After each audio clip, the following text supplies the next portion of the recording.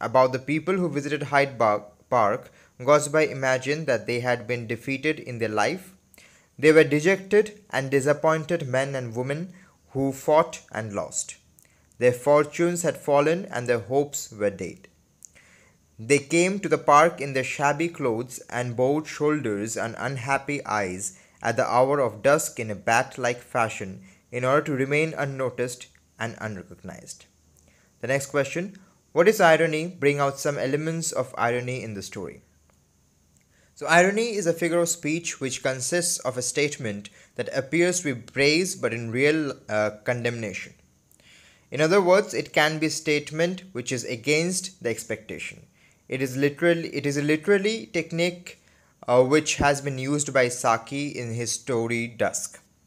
At first, when the young man remarks with a curse, "You wouldn't be in a good temper if you were in the fix I am in," which results immediately Gortsby's reaction, who seems in a fix instead of the young man. Secondly, when the same young man speaks impressively, I suppose you think I have spun you rather an impossible yarn. But later, the same false story becomes possible by the circumstances, which are an irony.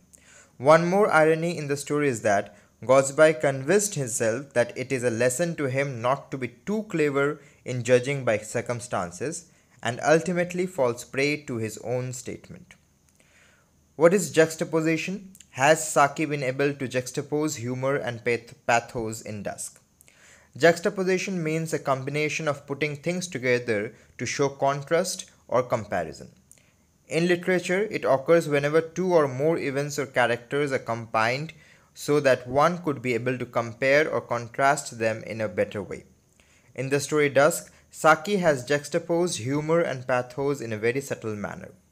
We see pathos in the description of people who have fallen fortunes and whose hopes are dead. There is pathos in the description of the elderly gentleman to whose piping no one dances.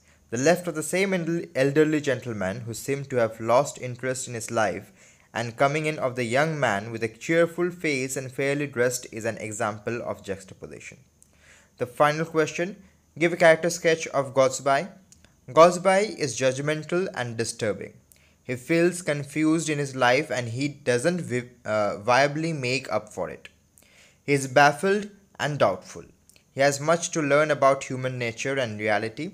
He is a critical observer of humanity. He views life as a fight. He is cunning from various perspectives